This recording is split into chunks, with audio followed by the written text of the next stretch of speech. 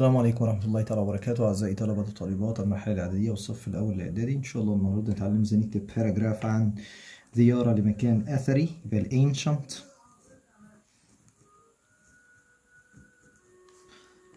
Ancient building.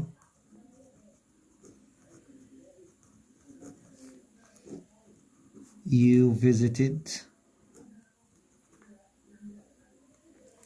يعني زيارة زيارتك لمكان أثري.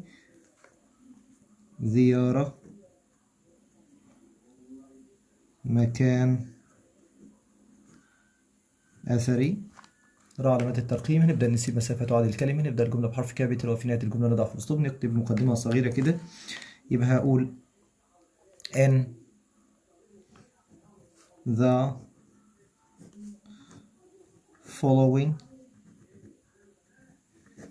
lines السطور التالية I will أو I'll أنا سوف. talk أتحدث about. عن وأبدأ أكتب اسم الموضوع بتاعي. أتكلم عن طبعا الإيه ال ancient.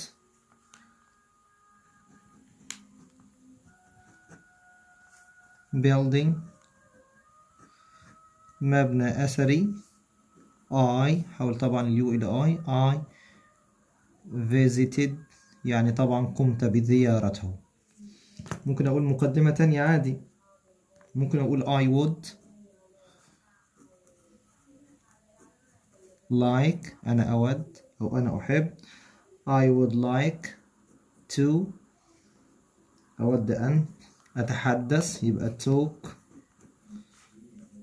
about واكتب اسم الموضوع بتاعي اللي هو طبعا إيه؟ ال ancient building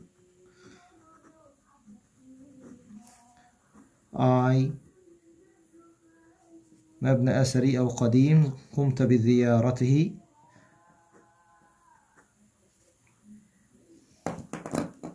واحكي بقى المكان اللي أنا إيه زرته. ممكن أقول last week last week الأسبوع الماضي.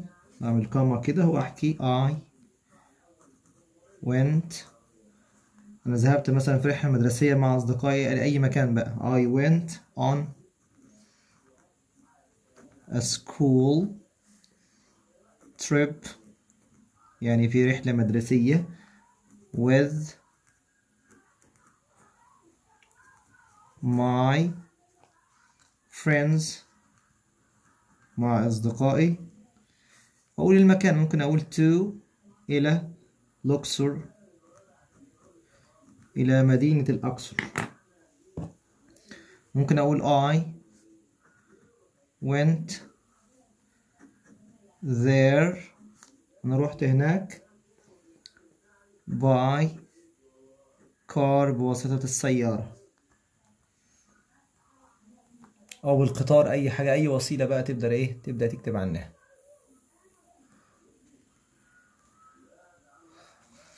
بعد كده أبدأ أتكلم بقى عن الحاجات اللي حصلت معايا. هنقول مثلا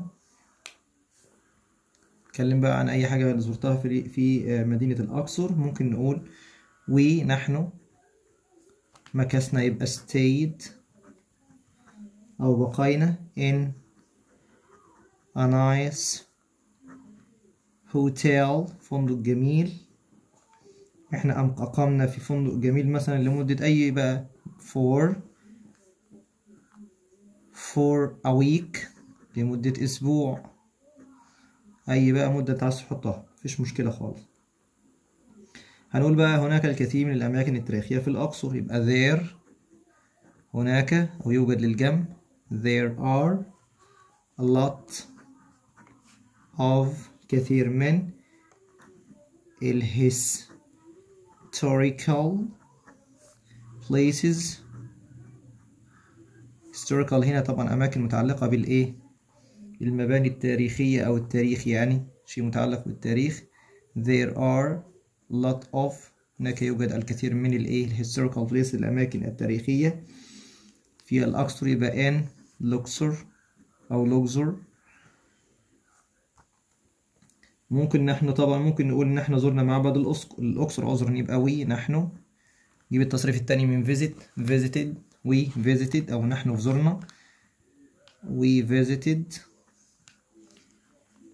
Luxor temple معبد الأقصر. ممكن أقول I studied about it يعني أنا درست عنه. I studied about it عنه at school في المدرسة. ممكن أقول إن هو مكان طبعا مشهور أو معروف يبقى it's it's a famous place. إنه مكان مشهور أو معروف. ممكن أقول إن هو طبعا ضخم في الحجم يبقى it's very huge. Huge يعني ضخم. In size في المقاس أو الحجم. طيب كمان ممكن نقول بطريقة تانية. ممكن نقول إن هو معبد آه، مصري قديم كبير. It's a large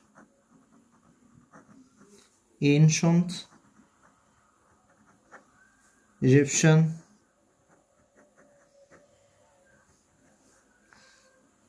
temple.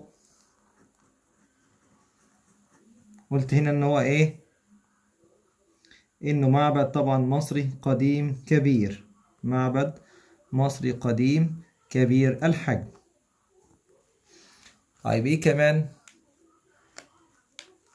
ممكن نتكلم عن آه إن إحنا طبعا آه فهمنا الحياة في مصر القديمة. يبقى وي نحن could. التصريف التاني من كان could استطعنا أو طبعا آه، تمكنا من understand أو understand ماشي إن إحنا نفهم. understand إن إحنا نفهم طبعا the life life الحياة in ancient Egypt في مصر القديمة.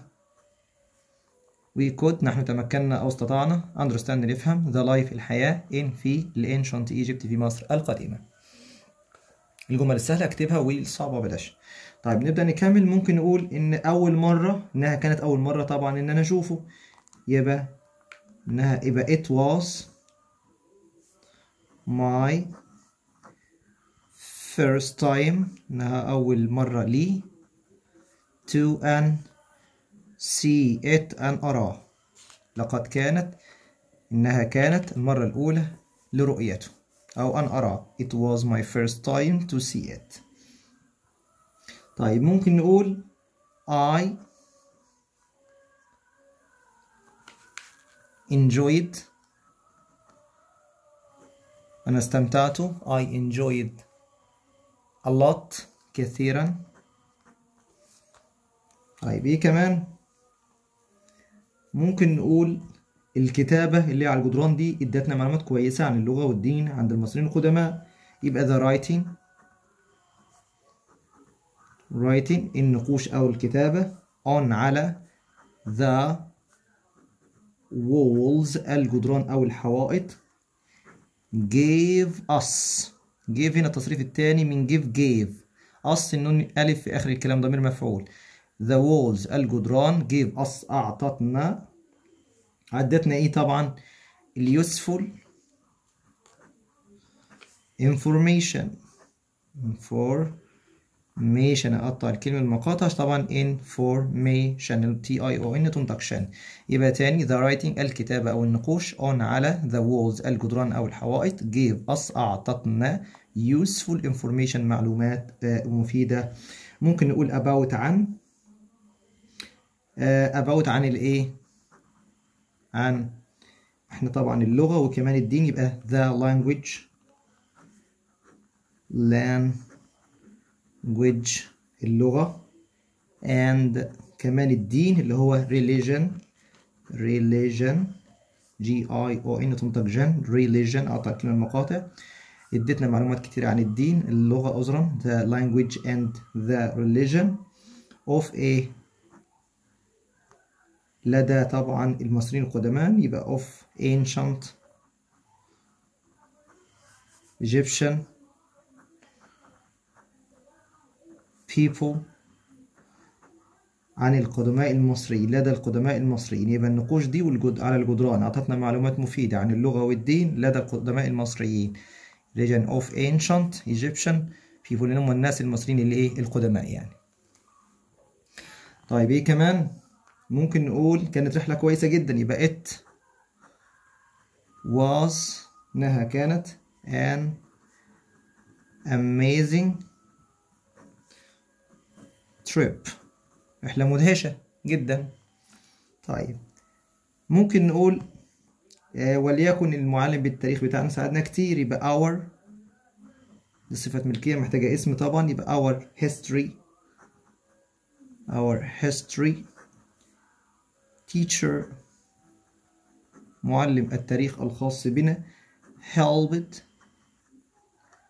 us ساعدنا a lot كثيرا. هنقول إن إحنا كنا سعداء جدا يبقى we were. ما اسمهاش were اسمها were. نحن كنا very happy سعداء جدا. طيب ممكن أقول حاجات كتيرة جدا يعني. اختار برضو الجمل منها المناسبة واكتبها. يبقى ممكن نقول حاجة ممكن نقول I أنا. أتكلم عن نفسي بقى. I like. Like من الأفعال اللي بيجي بعد منها الفعل مضاف له ing.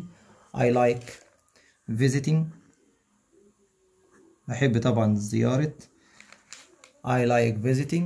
I like visiting. أنا بحب طبعا زيارة ال historic ال historic places.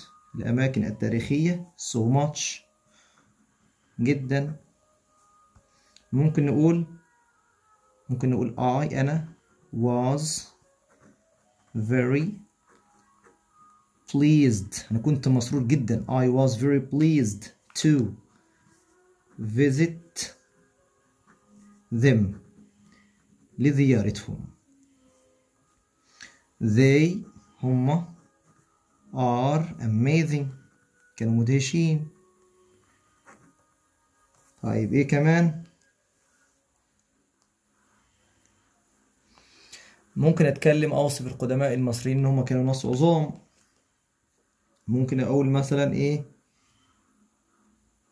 إنها كانت بطريقة تانية. ممكن نقول it was a very interesting visit. إنها كانت رياضة عذرا زيارة إيه؟ uh, interesting مدهشة أو شيقة. It was a very interesting visit. إنها كانت زيارة شيقة جدا. كمان ممكن نقول the the ancient Egyptians القدماء المصريين were كانوا truly truly great. Truly great يعني حقا إيه؟ هي كلمة truly هنا truly بمعنى حقا أو بصراحة أو في الواقع أو بصدق. كانوا بحق أو بصدق أو بصراحة أو في الواقع عظام. Great يعني عظام. طيب ممكن نقول في الآخر I will أنا سوف. I will never. أنا طبعا لن أنسى. I will never forget for forget لن أنسى this visit هذه الزيارة. يبقى كتبت كلام كتير جدا اختار حضرتك طبعا الجمل اللي مناسبة عندك واكتبها. أتمنى لكم التوفيق والنجاح. ما تنساش اللايك والشير عشان يوصلك كل جديد شكرا على المشاهدة السلام عليكم ورحمة الله تعالى وبركاته. وعذرا على الإطالة السلام عليكم.